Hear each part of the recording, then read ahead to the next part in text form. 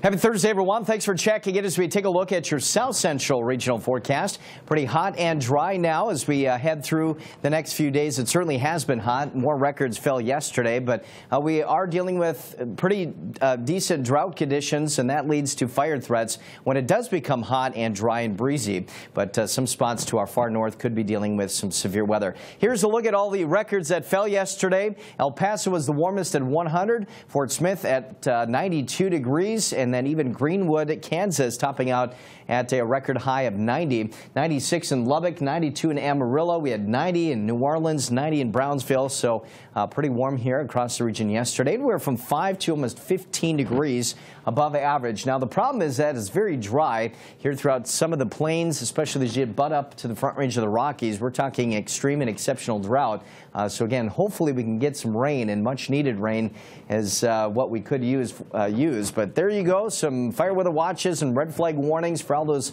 particular areas with some critical and elevated fire weather concerns today and again tomorrow. Tomorrow this is looking like a little bit more widespread uh, critical fire weather threat. Uh, but there is a marginal risk of severe weather today uh, as you head out into the plains, and it looks like tomorrow that threat kind of sinks down to the south just a little bit here, but it's a general thunderstorm threat again on Saturday. So we'll be watching for those thunderstorms, but also fire weather concerns as you head farther west.